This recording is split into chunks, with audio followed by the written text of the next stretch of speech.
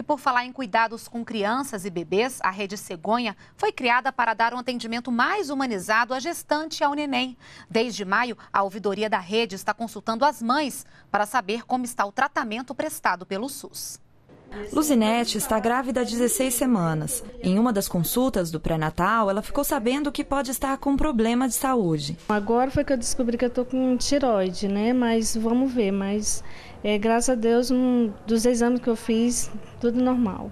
Para a ginecologista Marta, o pré-natal é indispensável para garantir a saúde da mãe e do filho. De preferência, ele deve ser realizado assim que for confirmada a gravidez. Nele, ela vai ter toda a chance de receber as orientações quanto à alimentação, né, quais as medicações que ela pode ou não pode tomar durante a gravidez, os sintomas que vão aparecendo, que vão ser, ela vai ser acompanhada quanto a isso, todos os exames que serão feitos de, sangue, né, de rotina da gravidez e assim, é, possivelmente detectar qualquer alteração que mesmo ela não sinta, não tenha sintoma e que seja tratado e evitar doenças né, durante a gravidez ou mesmo após o parto. E é para dar um tratamento mais humanizado à gestante e ao bebê que foi criada a Rede Cegonha. A ideia é dar atenção à mãe e ao filho desde a descoberta da gravidez até o parto. Para assegurar a qualidade dos atendimentos médicos de gestantes e recém-nascidos, o Ministério da Saúde conta com a ouvidoria da Rede Cegonha.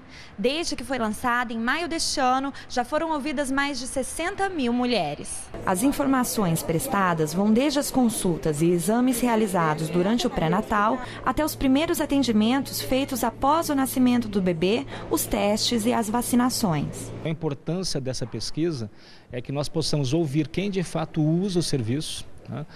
oferir o grau de satisfação dessas mulheres com o serviço que elas receberam, que foi oferecido aos seus filhos, e mais do que isso, detectar possíveis irregularidades e, a partir disso, o Ministério da Saúde, junto com estados e municípios, agir sobre essas situações irregulares.